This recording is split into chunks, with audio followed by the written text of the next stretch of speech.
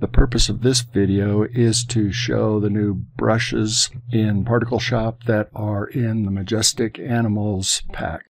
Uh, these are some great brushes. I'm going to just bounce around and show you uh, what they do a little bit. Bring up our color picker in case we need to change a color a little bit. We'll just start with Bad Lizard here. This is kind of a, a roughed up scale texture brush. The next one is Bug Wings. And with this, you can paint maybe some dragonfly wings, things like that.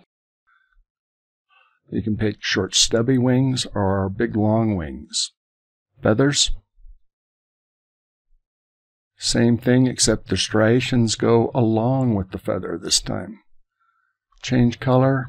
You can have just about any type of feather you would like.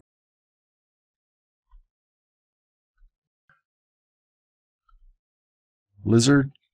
This is a little more refined version of Bad Lizard, and at a smaller size, you'll get a little more controlled. It's still pretty rough, but it is a little bit more controlled than Bad Lizard. Fur spots. These make kind of these bleeding out spots you can see here. The size varies so that the spots vary a little bit more like in real life. You can change the parameters, of course. Ram horn. This is a more interesting kind of brush in that it is made to slowly and carefully imitate a ram's horn. Of course, like all brushes, you can change the size.